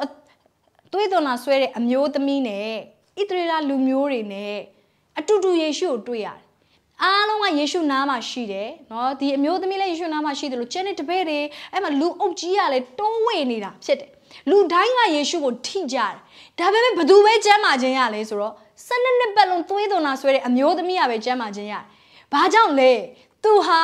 ယုံကြည်ခြင်းနဲ့ထိတဲ့အတွက်ကြောင့်ပြောပါဦးဘာနဲ့ထိရယုံကြည်ခြင်းပါလို့ ယုံကြည်ခြင်းမပါဘူးဆိုရင်ဘလောက်ပဲတကိုးကကျမတို့အတွက် available ဖြစ်နေပါစေကျမတို့အတွက်ရှိနေပါစေအောင်တော့ကျမတို့ဘာမှရလိုက်မှာမဟုတ်အမြေကြီးမှာအသက်ရှင်နေဖခင်ရဲ့တကိုးတော့ကျမတို့အတွက်ရှိရဲအဲ့ဒီတကိုးခံပြီးတော့လူတွေကိုအမှုဆောင်လို့ရတာမှန်တယ်ဒါပေမဲ့မယုံဘူးဆိုရင်အဲ့ဒီတကိုးကသင်နဲ့ကျမအတွက်ဖြစ်လာမှာမဟုတ်ကျမတို့အားဖြင့်လူတွေအပေါ်မှာတက်ရောက်လာမှာမဟုတ်အလိုလိုနဲ့ဖခင်တကိုးတော့ကသင်ကနေ flex ဆိုပြီး season သွားတယ်ဆိုတော့မရှိဘူးမိတ်ဆွေလူတိုင်းယုံကြည်ခြင်းနဲ့အမှုဆောင်ရတာဖြစ်တယ်ပြောပါဘာလို့လဲ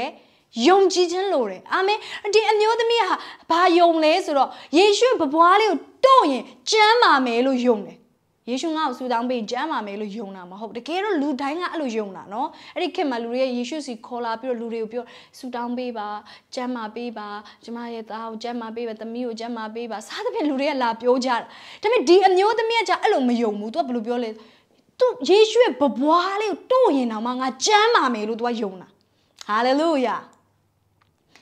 တိုးယုံနဲ့ကျမ်းမာမယ်လို့ယုံတဲ့အတွက်ယေရှုဆုတောင်းပေးစရာတော့မလိုဘူး။ယေရှုရဲ့ဘဘွားလေးကို तू တိုးလိုက်တဲ့ခါမှာကျမ်းမာခြင်းရသွားတယ်။အသင်ဘလို့ယုံလဲ။ဘာကိုယုံလဲ။ဘာတွေဖြစ်လာမယ်လို့ဖခင်ရဲ့တကိုးတော်အပြင်ဘာတွေဖြစ်လာမယ်လို့သင်ယုံတယ်လေ။သင်ယုံကြည်သည်နဲ့အညီသင်နိုင်ဖြစ်စေလို့ဖခင်ကဂတိပေးထားတယ်ဖခင်ဖြစ်တယ်။ဟာလေလုယာ။အဲ့ဒီတကိုးတော်ကကျမတို့အတွက်အစဉ်သင်ရှိနေဒါပေမဲ့ ကျမတို့ယုံမရမယ်ဒီအမျိုးသမီးရဲ့ယုံကြည်မှုနဲ့ဣသရေလအခြားသောလူတွေရဲ့ယုံကြည်မှုကွာတာဖြစ်တဲ့အတွက်လက်ခံရရှိတဲ့ခါမှာလဲကွာသွားတယ်ဒီနေ့ခရိယန်တွေအတူတူပဲ ဖះကိုဒီဖះကိုပဲကိုးကွယ်တာပဲဒီဖះကိုပဲယုံကြည်ကြတာပဲဒါပေမဲ့ဘာကြောင့်တို့ရဲ့အသက်တာမှာပိုင်ဆိုင်တဲ့အရာတွေကွာသွားလဲတို့တက်တဲ့တက်ဆွမ်းတဲ့အရာတွေကွာသွားတယ်လေဆိုတော့တို့ရဲ့ယုံကြည်မှုကွာသွားတဲ့အတွက်ကြောင့်ဖြစ်တယ်။ Come on ကျမတို့ယုံကြည်ခြင်းတွေစတင်ပြီးတော့မြင့်တင်ရမယ့်အချိန်ရောက်ပြီ။တဘာဝလွန်အရာတွေအတွက်ယုံကြည်ရမယ့်အချိန်ရောက်ပြီ။ပြောပါအောင်တဘာဝအရာတွေပဲငါမယုံတော့။တဘာဝလွန်အရာတွေငါယုံမယ်။အာမင်။လာကိုရင်ထမင်းစားဖို့နော်အလုပ်ရဖို့အဲ့ဒါတွေယုံတာတော့မိတ်ဆွေဒါတဘာဝအရာယုံလို့ရတယ်လူတိုင်း အလုတ်သွားရှာရင်အလုတ်ရမယ်ဟဟလားအလုပ်ငန်းကျွမ်းကျင်အလုပ်ရမယ်ဒါတွေကတဘာဝအရာတွေကိုသင်ယုံတာတဘာဝလွန်ယုံနေဆိုတာကမဖြစ်နိုင်တဲ့အရာတွေကိုယုံတာစတင်ပြီးတော့မဖြစ်နိုင်တဲ့အရာတွေအတွက်ယုံကြည်ခြင်းထားရအောင်အာမင်အဲ့တော့ကျမတို့တတိယအနေနဲ့တဘာဝလွန်တင်အသက်ရှင်ခြင်းနေဆိုလို့ရှင်သင်ရဲ့အသက်တာထဲမှာနမိတ်လက္ခဏာကိုသင်ရှာရမယ် sick miracle အချို့ကပြောမယ်ဆရာမ မှားနေပြီတင်နေနော် theology ရဖះကိုပဲရှားမှာနမိတ်လက္ခဏာကိုရှားမှာမဟုတ်ဘူးအချို့ကကျွန်မကိုထောက်ချင်တယ်ဆိုကျွန်မသိရအကြောင်းကြိုးပြောတာဟုတ်တယ်ဖះကိုတန်ရှားရမယ်ဒါပေမဲ့တင်တဘာဝလုံးနေပေမှာတင်အလုပ်လုပ်ချင်နေဆိုရင်နမိတ်လက္ခဏာဖြစ်ဖို့ရန်အတွက်နမိတ်လက္ခဏာကိုယုံကြည်ပြီးတော့ရှားရမယ်ဒီအမျိုးသမီးလို့ပေါ့ခုနကကျွန်မပြောတဲ့၁၂နှစ်ပတ်လုံးသွေးသွန်တာဆွဲတဲ့အမျိုးသမီးဟာယေရှုရဲ့ဘဘွားကို तू တို့တာနဲ့ तू ကျမ်းမာမယ်လို့ယုံပြီးတော့ तू ဟာပြန်ပြီးတော့စစ်တယ်နမိတ်လက္ခဏာဖြစ်သလားဆိုသူကသူစစ်တယ်ဘာဖြစ်တယ်လဲသွေးစုနာခန်းချောက်ပြီးတော့နော်သွေးစုခန်းချောက်ပြီးတော့သွေးသွန်တာဟာရက်သွားတယ်ဆိုတာ तू သိတယ်နမိတ်လက္ခဏာကို तू မျောလင့်နေမျောလင့်တဲ့အရာကိုလေ तू ရှာတယ်အာမင်အဲ့တော့ကျမတို့ဒီဖယားသခင်စီကနေမျောလင့်တတ်ဖို့လိုတယ်မျောလင့်ထားတဲ့အရာဖြစ်လာသလားဆိုတာလေရှာဖွေဖို့ရန်အတွက် လိုတယ်တော်တော်များများသောနမိတ်လက္ခဏာတွေကနမိတ်လက္ခဏာကိုရှာတဲ့သူတွေရဲ့အသက်တာမှာဖြစ်လာတာဥပမာဆိုပါစို့ယေရှုကပြောတယ်လက်ချေသေးတယ်လို့နော်ဗေဒရာအိုင်နာမှာ38နှစ်ပတ်လုံးနော်အမှသွားပြီးတော့နေနေရတဲ့လူကိုယေရှုကပြောတယ်ထားအိယာကိုဆောင်ပြီးတော့ပြန်มาပြောတဲ့အခါမှာသူဟာသူ့ရဲ့နမိတ်လက္ခဏာကိုရှာရတယ်ဘာလို့ ਆ လဲထားလိုက်ရတယ်ပြီးတော့သူ့ရဲ့အိယာကိုယူရတယ် ဒါပါလေနမိတ်လက္ခဏာကိုသူရှာနေခြင်းဖြစ်တယ်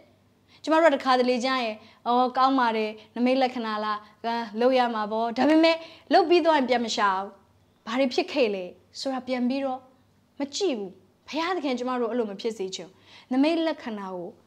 တကယ်မျော်လင့်စေချင်တယ်မျော်လင့်ပြီးတော့ရှာဖွေစေချင်တယ်ဒါကြောင့်မလို့ကျမတို့လူတယောက်ကိုဆူတောင်းပေးတဲ့အခါမှာပြန်ပြီးတော့စစ်ခိုင်းပါသူတို့ကိုတတ်သေး ဘလောက်ထိရလာသလဲဆိုတာကိုမေးပါ90ရာခိုင်နှုန်းတက်တာသွားတာလား80ရာခိုင်နှုန်းတက်တာသွားတာလား100ရာခိုင်နှုန်းတက်တာသွားတာလားမေးပါဘာလဲဒါဟာသင်ဟာယုံကြည်ခြင်းရှိခြင်းပြသနေတာဖြစ်တယ်သင်ယုံကြည်တဲ့အရာကိုသင်မျှော်လင့်တဲ့အရာကိုပြသနေခြင်းဖြစ်တယ်အဲ့ဒီအရာကသင်နမိတ်လက္ခဏာကိုရှိုင်သင်နမိတ်လက္ခဏာကိုတွေ့လိမ့်မယ်အာမင် ဟာလေလုယာဖခင်ကိုရှာပါလို့ကျွန်မသင်သင်ပေးစရာမလိုတော့ဘူးလို့ကျွန်မယုံကြည်တယ်သင်ရဲ့အဆင့်အဲ့လောက်ထိသူငယ်တန်းအဆင့်မှာမဟုတ်တော့အာမင်အဲ့ဖခင်သခင်ကိုသင်ရှာပြီးတော့အဲ့ဖခင်နဲ့အတူဘလို့အမှုဆောင်ရမလဲဆိုတော့ကျွန်မသင်ကိုသင်ပေးနေတာဖြစ်တယ်အဆုံးထိနားထောင်စေခြင်းနဲ့ဟာလေလုယာအာမင်အဲ့တော့ကျွန်မတို့ယုံကြည်ခြင်းနဲ့တက်သေးကိုရှာပါထူးခြားမှုဖြစ်လာမယ်ဆိုတော့မျှော်လင့်ပြီးတော့နမိတ်လက္ခဏာကိုရှာပါဒါပေမဲ့နမိတ်လက္ခဏာကအများထဲမှာဖြစ်ပါတယ်ခတ်တာကနမိတ်လက္ခဏာကိုမရှာတဲ့အတွက်ဖြစ်လားမဖြစ် မဖြစ်လားဆိုတာတော့မှချို့ကမသိသွားဘူးဖြစ်တယ်။နော်အဲ့တော့ကျမတို့စတင်ပြီးရှာဖို့လိုတယ်။နမိတ်လက္ခဏာကိုရှာပြီးရင်နမိတ်လက္ခဏာကို study လုပ်ပါလေ့လာပါအကယ်လို့သင်ဟာတကယ် supernatural lifestyle နဲ့မှာသွားခြင်းနေဆိုရင်ဖခင်ကကျမတို့တရက်မှာသင်ပေးတယ်ဗာပြောလဲဆိုတော့ဆရာကြီးမင်းအဖြစ်ဖြစ်ခဲ့တဲ့နမိတ်လက္ခဏာတွေကို ရေးထားပါဒါကြောင့်မို့ကျမရဲ့ iPad ထဲမှာဆိုရင်ကျမမှာ folder လေးတစ်ခုရှိရယ် Sarah Miracle ဆိုတာเนาะကျမရဲ့နမိတ်လက္ခဏာတွေကျမအသက်တာမှာခံစားရတဲ့နမိတ်လက္ခဏာတွေကျမအားဖြင့်ဖြစ်လာတဲ့နမိတ်လက္ခဏာတွေကျမရေးထားတယ် ဖះသခင်နမိတ်လက္ခဏာတွေဘလို့အလုပ်လုပ်လဲဘာလို့ဆိုကျမဖះသဘာဝလွန်ဖះဖြစ်တယ်ကျမဘဝတစ်ခုလုံးကသဘာဝလွန်ဖြစ်တယ်ကျမသဘာဝအတိုင်းကျမအသက်မရှိအမြဲတမ်းသဘာဝအထက်မှာရှိတဲ့ဖះသခင်ရဲ့ကျေးဇူးပြုခြင်းနဲ့ကျမအသက်ရှင်နေသူဖြစ်တယ်အဲ့တော့နမိတ်လက္ခဏာကိုဖះကကျမကို study လုပ်ခိုင်းတယ်ဘလို့ပုံစံနဲ့ဖះသခင်အလုပ်လုပ်တယ်လဲ study လုပ်ပြီးကျမကိုအဲ့ဒီပုံမှာသူနောက်ထပ်လုပ်မဲ့နမိတ်လက္ခဏာတွေအတွက် ယုံကြည်ခြင်းကိုသူ့ကိုကျမကိုတိဆောက်ခိုင်းတယ်ဟာလေလုယာတရက်မှာယေရှုဟာတပည့်တော်တွေနဲ့အတူလူ9000ကိုမုံ9လုံးနဲ့9နှကောင်အားဖြင့်ကျွေးမွေးခဲ့တယ်တပည့်တော်တွေရဲ့လက်ထဲကနေပြီးတော့အဲ့ဒီမုံ9လုံးနဲ့9နှကောင်ကပွားသွားတယ်ယေရှုကဒီမုံ9လုံးနဲ့9နှကောင်ယူပြီးကျေးဇူးတော်ချီးမွမ်းတယ်မိုးမျောကြည့်ပြီးတော့နော်ခမီးတော်ကျေးဇူးတော်ချီးမွမ်းပြီးတော့တပည့်တော်တွေလက်ထဲကိုပေးလိုက်တယ် သူတို့စနစ်ရောက်အပြင်ဘာလုပ်လဲဆိုသူတို့ကလူတွေကိုဝေးတယ်ဝေးရင်ဝေးရင်နဲ့မုတ်တွေပွားလာပြီးဒီလူ9000စားလောက်ရုံတော့မကောက်12တောင်းတောင်ပို့သေးတယ်အဲ့တော့ဗာမြင်ရတယ်လေဆိုအဲ့မှာကြီးမားတဲ့နမိတ်လက္ခဏာဖြစ်တယ်ယေရှုရဲ့လက်နဲ့ဖြစ်တာတော့မဟုတ်ဘူးတပည့်တော်ရဲ့လက်နဲ့ဖြစ်တာယေရှုရဲ့တကိုးတော်ကနောက်ကနေသူတို့မဆပေးတာဖြစ်တယ်အာမင်ဒါပေမဲ့သူတို့လက်ထဲကနေပွားသွားတယ်နမိတ်လက္ခဏာတွေဖြစ်တယ်ဝါကျမတို့ဒါအဲ့ဒါမြင်ရရင်တော့အယံပြောမှာပဲဟာလေလုယာကျမတို့မေ့နိုင်မှာမဟုတ်ဘူးလို့ကိုယ့်ကိုယ်ကိုထင်ကြမယ်နော် ဒါပေမဲ့အံ့ဩစရာကောင်းတယ်အဲ့ဒီဖြစ်ပျက်လေးပြီးရောဘာတွေ့လဲဆိုသူတို့ဟာမုံတိုင်းနဲ့တွေ့တယ်နော်အဲ့ဒီခါမှာယေရှုရောက်လာတယ်ယေရှုရောက်လာတဲ့ခါမှာသူတို့ကဘာပြောလဲဆိုယေရှုကိုဖုတ်တစီလို့သူတို့ကထင်တယ်ပြီးတော့သူတို့မုံတိုင်းထဲမှာသူတို့ကသေတော့မယ်လို့သူတို့ကိုသူတို့ထင်ပြီးကြောက်လန့်နေကြတယ်ကြည့်ပါဒီပြပြကိုကြည့်မယ်ဆိုသူတို့ကခုနလေးကပဲနမိတ်လက္ခဏာတွေကိုလက်နဲ့လုတ်ခဲ့တဲ့သူတမုံတိုင်းကိုသူတို့ကြုံတဲ့အခါမှာ အမိန်ပေးလို့ရတယ်မုံတိုင်းကိုယုံကြည်ခြင်းနဲ့ကြုံဖြတ်လို့ရတယ်ဆိုတာသူတို့မေ့သွားတယ်အ ကျမတို့တက်တာတွေမှာလည်းတစ်ခါတည်းမှာနမိတ်လက္ခဏာတွေကိုလုပ်ပြီးတော့နမိတ်လက္ခဏာတွေကိုမေ့သွားတယ်ဆိုရင်အဲ့ဒီအရာတွေကိုကျမတို့နှလုံးသားထဲမှာမမှတ်ထားဘူး study မလုပ်ဘူးเนาะအမြဲတမ်းမှာကျမတို့ဒီ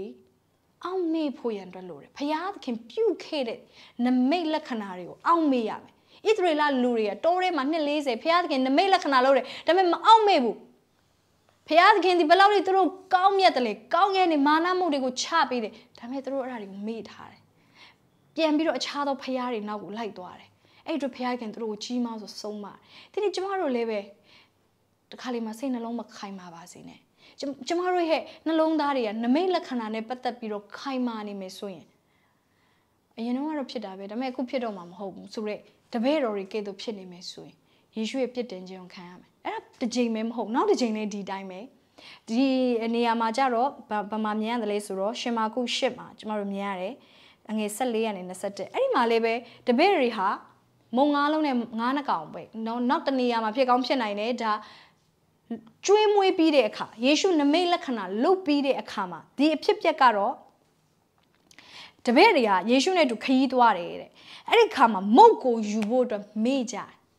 ဟောမုတ်ကိုယူဖို့မေ့ပြီးတော့မုတ်တစ်လုံးပဲပါလာတယ်လေပေါ်မှာသူတို့နိုင်မုတ်တစ်လုံးသာရှိကိုတော်ကလည်းဖာရီရှဲတို့တဆေးကို၎င်းဟေရိုတဆေးကို၎င်းတတိနဲ့ကျင်ဆောင်ကြဟုပြညတ်တော်မူ၏အဲယေရှုကသူတို့ပြောတယ်ဖာရီရှဲရဲ့တဆေးနဲ့ဟေရိုရဲ့တဆေးကိုရှောင်းအဲ့လိုပြောတဲ့အခါတပည့်တွေကဘလို့ထင်လဲဆိုတော့တဲ့တပည့်တော်တို့ဒီငါတို့နိုင်မုတ်မပါတော့ကြောင့်ဤစကားကိုမိန့်တော်မူသည်ဟုအချင်းချင်းဆွေးနွေးပြောဆိုကြတယ်ဘလို့ထင်လဲဆိုတော့ငါတို့မုတ်မပါလာတာကို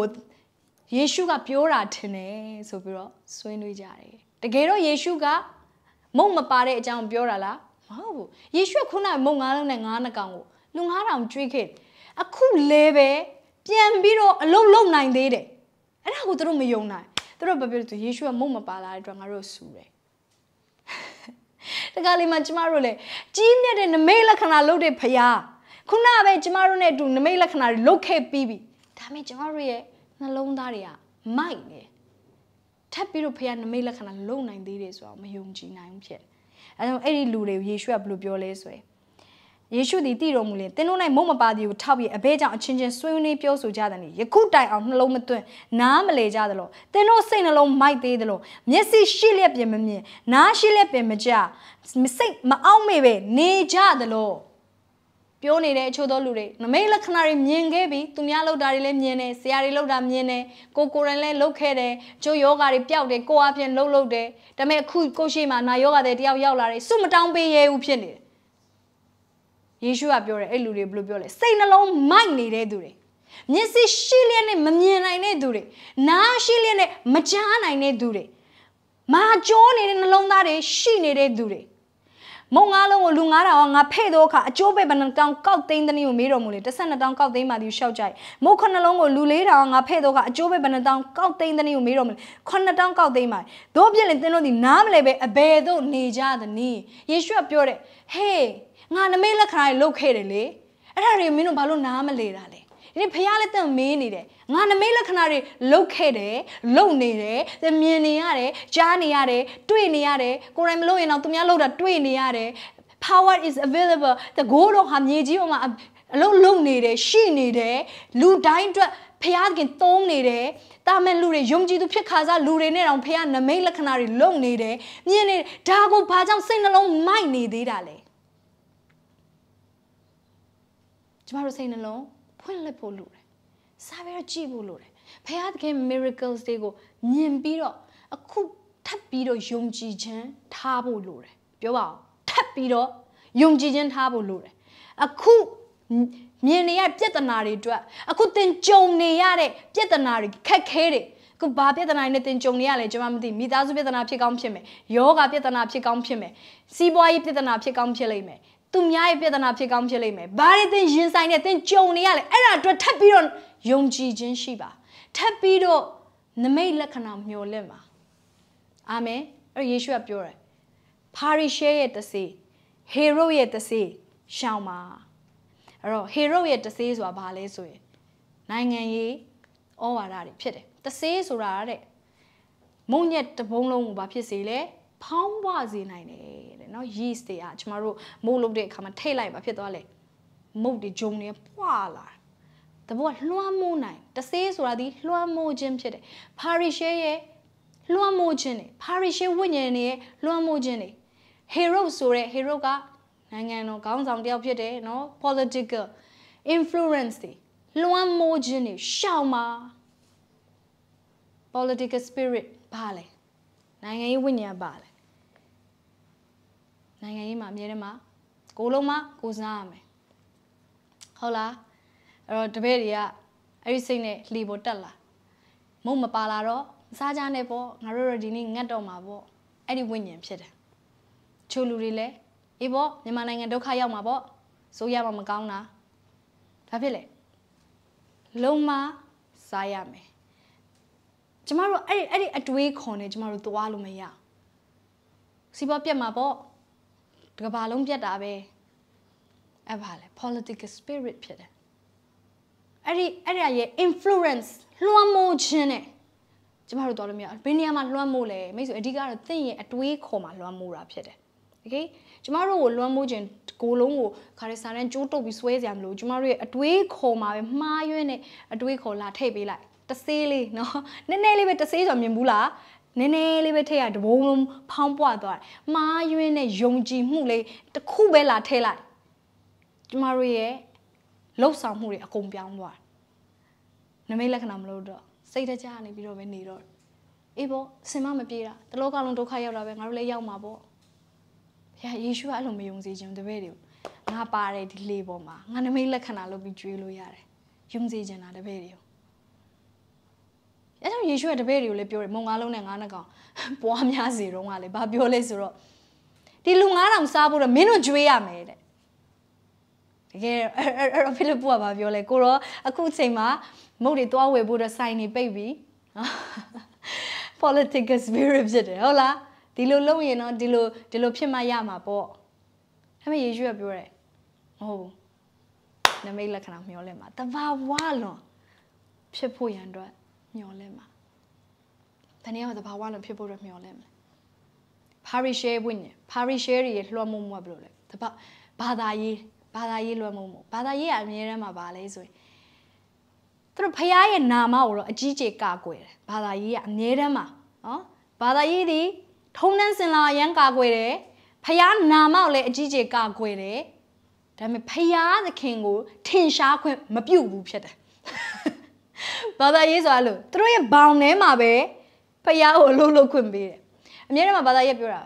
ဖခင်ကိုအပြစ်မတင်ကြနဲ့ဟုတ်တယ်ဖခင်ကိုအပြစ်မတင်အောင်မှန်တယ်